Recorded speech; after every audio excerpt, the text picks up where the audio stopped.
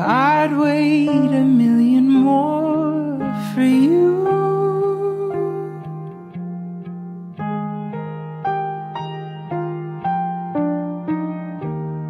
Nothing prepared me for the privilege of being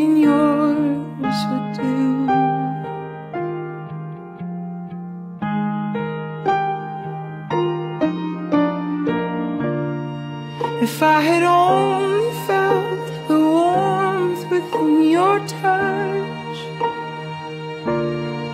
If I had only seen how you smile when you blush. Or how you curl your lip when you concentrate enough. I would have